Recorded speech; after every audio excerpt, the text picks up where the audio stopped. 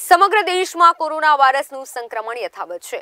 ત્યારે મોદી સરકાર દ્વારા કોરોના વાયરસને અટકાવવા માટે જન આંદોલન અભિયાન સમગ્ર દેશમાં શરૂ કરવામાં આવ્યું છે. આ અભિયાનના ભાગરૂપે ગુજરાતમાં પણ કોરોના મહામારીમાં અટકવા અંગે જન જનમાં લોકજાગૃતિ આવે અને સમાજના તમામ લોકો માસ્ક પહેરે, વારંવાર સાબુથી હાથ ધોવે, સેનેટાઇઝરનો ઉપયોગ કરે અને છ ફૂટનું અંતર રાખે તે આજના સમયની માંગ છે.